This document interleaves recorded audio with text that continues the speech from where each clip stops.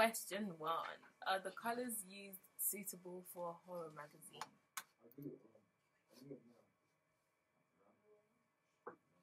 In my opinion, I believe they are because there's lots of red which represents danger and blood, and there's black for like darkness.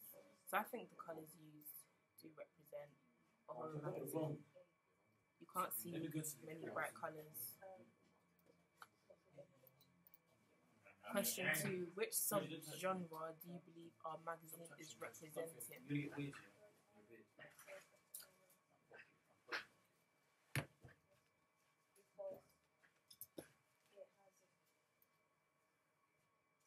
I believe it also represents action.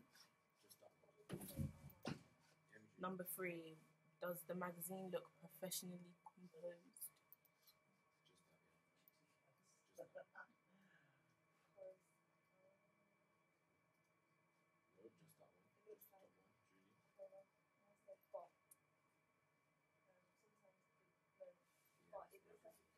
I think it does because it has the barcode, the price, it has all the perks that a real magazine would have.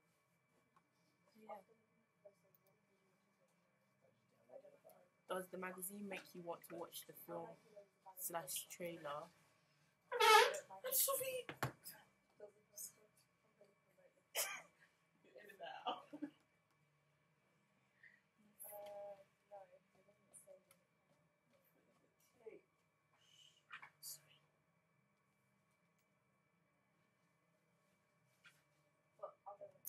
In my opinion, mm, I don't think it does because it doesn't have much of the storyline on the magazine.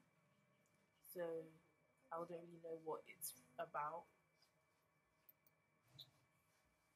Do you like the typography that was used?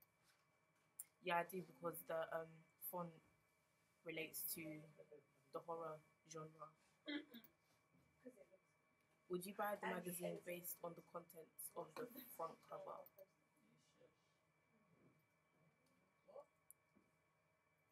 Mm, for four pound fifty, I wouldn't. Is the main image effective enough to represent horror?